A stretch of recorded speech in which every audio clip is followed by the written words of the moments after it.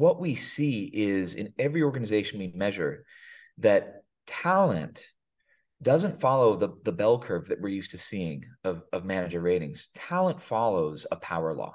If you remember one thing from this talk today, just remember that talent follows a power law. So that's a really steep curve, just like this. And what it says is that in every organization, and this is what our measurements say as well, that in every organization, there are about 10 to 15% of employees who are creating half the value in, in that organization. And we also find that about 5% of employees create half the problems in that organization as well.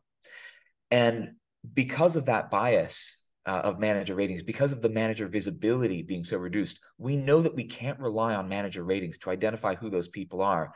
But it's so critically important that we have those lists and we start taking action. Maybe it's maybe there are people who need to have some performance conversations or be exited out. And more importantly, we have top performers who the organization is depending on, who are driving the business forward. We've got to retain them. And that's that's where ONA can really be helpful. That power law is so important. It's the 80 20 principle, also known as the Pareto principle, right? As Josh said, that fraction of talent that's outstanding and driving most of your productivity, and that fraction of talent on the other end that's causing most of the problems.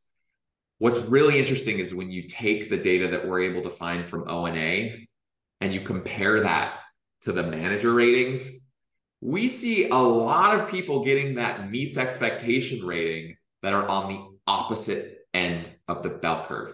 In other words, truly outstanding, driving 50% of the company's value. You wish you could clone them, meets expectations.